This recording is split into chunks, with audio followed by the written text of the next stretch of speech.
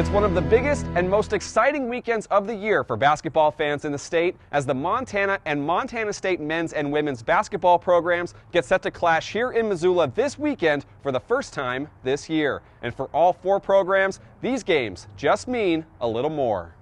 You know, we say this when we're recruiting, there is at this level, there's no rivalry like it in college basketball at this level. You could throw it in there with some of the, you know, the Dukes, the Carolinas, the the other great rivalries. I mean, it's in there, right? Like any time when the Bobcats and Grizzlies meet in any sport, records, hot or cold streaks, throw them all out. Friends and family fly in, the arena fills up, and the whole state tunes in. In the men's game, it'll be the 304th meeting between the programs, the fifth oldest rivalry in college basketball. It's a series the Grizzlies have won 20 of the last 22 meetings, including 11 straight at home. But the Bobcats are coming off of a historical run to the NCAA tournament and currently sit top three in the Big Sky standings. They're tough. Um, I think since Coach Sprinkle's been there, they've been one of the teams that you look at on film, you watch in games.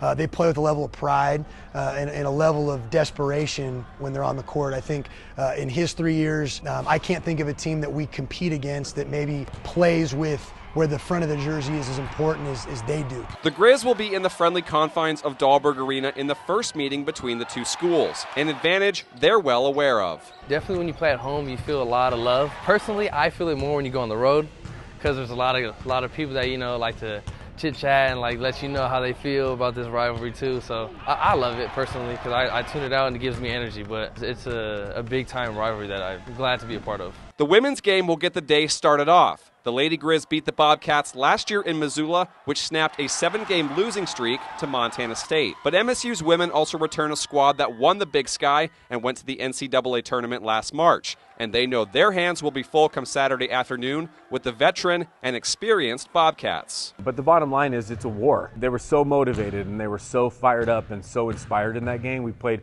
we played really well. You have to take some of the emotion out. Um, it's a balance between emotion and execution. And so, as a coach, you're trying to just tweak, tweak the right things to give that balance. Reporting in Missoula, Kyle Hansen, MTN Sports.